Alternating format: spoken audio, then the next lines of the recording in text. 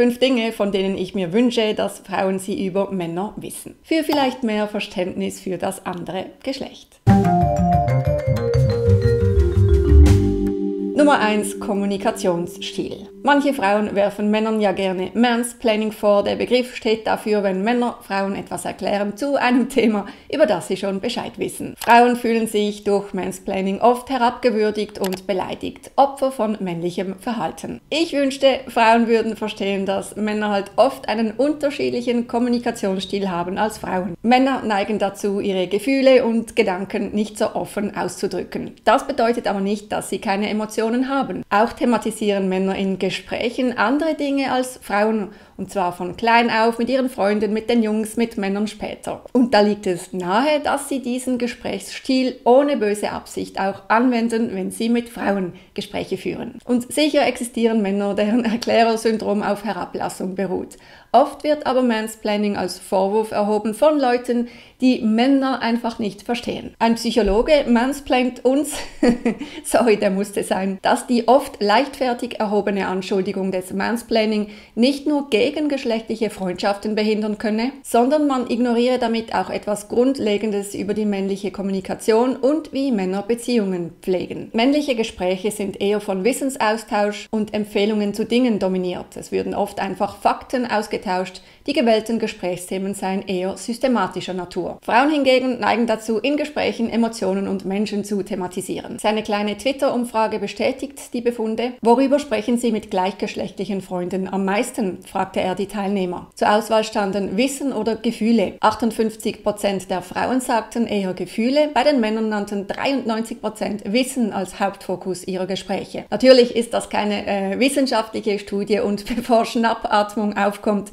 auch emotionale Themen können natürlich Wissen transportieren. Die Umfrage decke sich laut dem Psychologen jedoch mit den altbekannten Ergebnissen zu systematisieren und empathisieren. Ja, und nun kann man den Männern aufgrund dieser biologischen Unterschiede schlechte soziale Fähigkeiten oder einen Mangel an emotionaler Intelligenz attestieren. Man kann die schlimmstmögliche Absicht hineininterpretieren, dass die Herren im Erklärermodus mit Frauen absichtlich herablassend umspringen. Man kann sich als Frau hartnäckig gedemütigt fühlen entwickeln. Oder man kann versuchen, Verständnis für diesen Kommunikationsstil aufzubringen und zu verstehen, woher er kommt. Zweitens, Männer können selbstverständlich genauso wie Frauen Gefühle haben und verletzt sein. Es drückt sich bei ihnen oft einfach anders aus. Und darum sollte man Männer auch nicht einfach leichtfertig anschuldigen für Dinge zum Beispiel, wo sie nichts dafür können. Solche Anschuldigungen können Männer nämlich auch treffen und verletzen. Kleines Beispiel, das zum Zeitgeist passt, wenn große Teile der Gesellschaft ständig von toxischer Männlichkeit sprechen und Männer als Ganzes für das Fehlverhalten von Individuen verantwortlich machen oder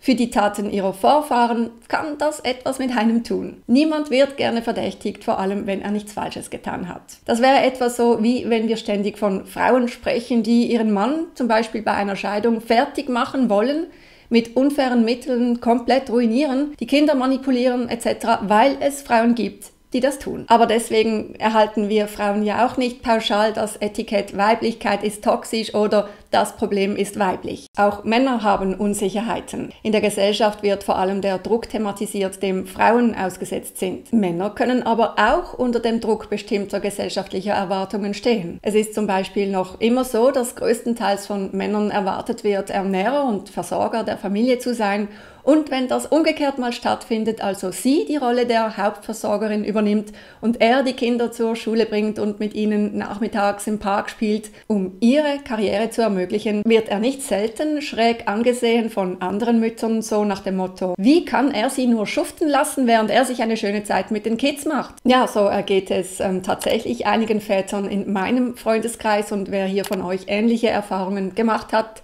schreibt es mir bitte in die Kommentare. Und wichtig, Selbstverständlich ist es an jedem selbst, auf das Urteil von anderen zu pfeifen und damit klarzukommen, das sage ich auch immer wieder bei den Frauen. Es geht mir jetzt einfach darum zu zeigen, nicht nur die Ladies treffen manchmal auf eine gesellschaftliche Erwartungshaltung. Schönheitsdruck. Männer können auch Unsicherheiten haben bezüglich ihres Aussehens. Man spricht ja immer davon, wie Frauen es schwer haben, weil sie ja dem Schönheitsideal entsprechen müssen und das stimmt teilweise auch. Aber das ist bei den Männern nicht groß anders. Sie müssen einfach dem Größenideal entsprechen. Bei ihnen ist es vor allem der Körpergrößendruck. Studien zeigen, dass sich sehr viele Frauen zu großen Männern hingezogen fühlen und Männern, die kleiner sind oder etwa gleich groß wie sie und egal wie groß sie selbst sind, von Anfang an gar keine Chance geben. Männer, was wollen sie tun, wenn sie 1,65 groß sind? An dem für Frauen so wichtigen Merkmal, das über Interesse entscheidet oder nicht, können sie nichts ändern. Du wirst nicht größer. Auch das ist ein gesellschaftlicher Druck, unter dem so manche Männer leiden. Männer benötigen manchmal Zeit und Raum, um Energie zu tanken, um sich aufzuladen. In solchen Momenten ziehen sie sich zurück, werden vielleicht schweigsamer auch und das bedeutet nicht, dass sie weniger interessiert oder weniger engagiert sind. Ja, manchmal ziehen sie sich auch in Männerzirkel zurück oder sie brauchen diese für ihre persönliche Freiheit. Sie möchten dann einfach unter sich bleiben. Und diese Rückzugsorte, die können Events sein, wo Frauen nicht zugelassen sind, wie Zünfte, Rotary-Clubs, diese Dinge. Und das hat nichts mit der Diskriminierung der Frau zu tun, wie ihnen ja dann gerne vorgeworfen wird. Ohne die Frauen sind Männer einfach entspannter, die Gruppendynamik ist anders. In ihrer Anwesenheit hätte die Hälfte ihrer Handlungen oder Äußerungen wohl Konsequenzen. Wenn Männer unter sich sind, spielt das alles keine Rolle.